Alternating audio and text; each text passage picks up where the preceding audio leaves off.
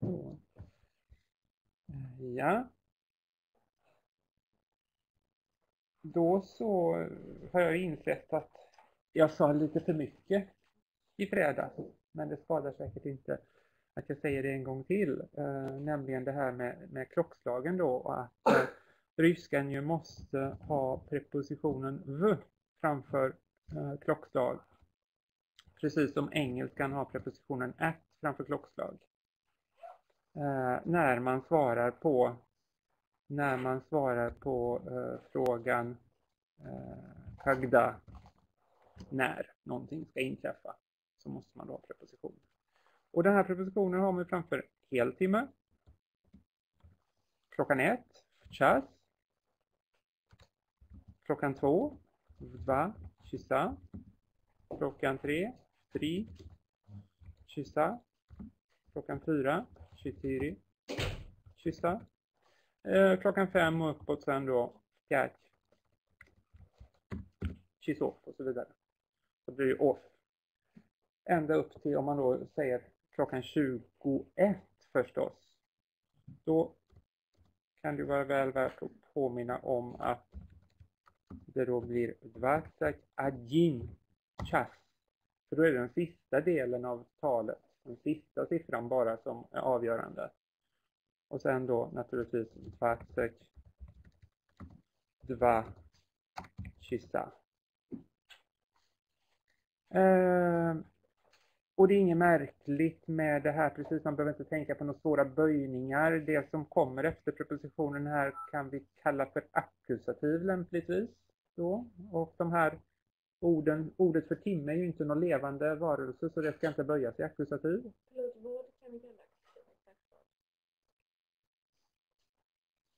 Ja, egentligen då så är det ju så att prepositionen styr substantivet här när det gäller siffran 2.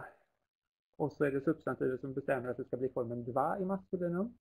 Men sen när vi kommer till siffran 5, eh, Eh, ja egentligen redan när det kommer till siffran 3 så får man nog säga att prepositionen styr själva siffran i akkusativ och sen är det siffran som styr ordet timme och gör att timme hamnar i genitiv. Så att det är lite virrigt det hela. Alltså när det gäller en och två så kan man säga att prepositionen styr själva substantivet, men från nummer tre så får man nog säga att prepositionen styr siffran snarare kanske. Kanske. så det där var lite svårt att svara på. Det är en sån här sak som man kan skriva avhandlingar om egentligen. Det här med siffror i ryskan. Nej då, det måste heta så här. Ja, det måste heta på det här viset, men sen exakt hur man då vill analysera det, att, att prepositionen så att säga styr det ena eller det andra, det varierar lite i olika beskrivningar.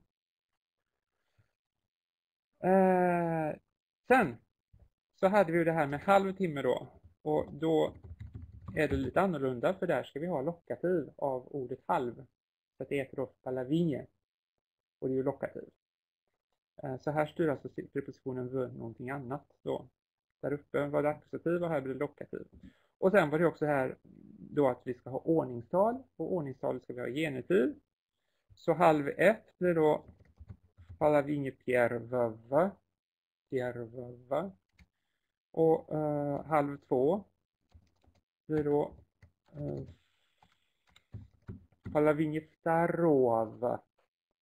Och så vidare och så vidare. Ordet tredje är ju lite oregelbundet, så där kan jag kanske skriva då, där ska man in ett mjukt tecken. Palavinje eh, trekjeva.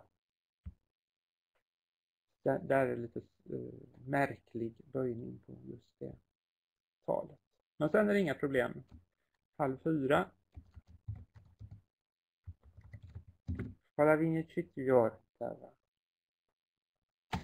Och sen så eh, vill jag minnas att jag aldrig kom så långt som till minuter eh, i fredags. Så detta blir då nytt, att även framför minuter så ska vi ha det här V.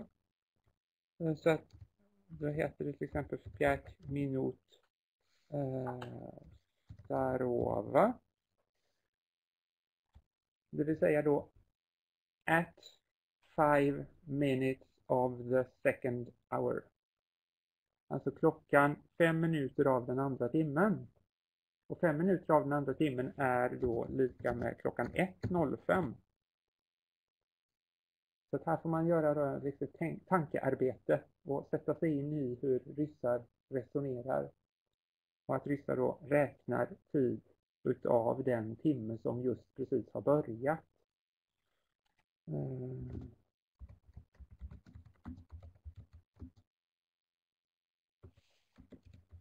Så om vi då säger 20 minut piatova så är det då klockan 4.20.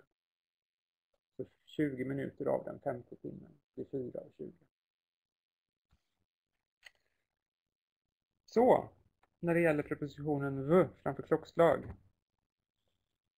Sen har vi i den här lektionen personliga pronomen i, i eh, lokativ. Och eh, de har där då använt prepositionen a eh, framför de här pronomena. Och där är det då en ganska stor oregelbundenhet när det gäller om mig. Prepositionen helt plötsligt får en väldigt lång form, nämligen abba. Abba mnie om mig. Medan den sen då i alla andra fall har den vanliga formen bara a. Så om dig, a tibie. A njom, om honom. A njej, om henne. Och eh, de två första formerna de liknar ju väldigt mycket dativ. Det är ju samma former som dativ där, mnie och tibie. Även formen njej är ju i princip samma form som dativ. Det är egentligen bara njom där då som är väldigt speciell lokativ form. Och så har vi de här n i tredje person som man ju alltid får efter preposition. Eh, ett extra n framför pronomen i tredje person där.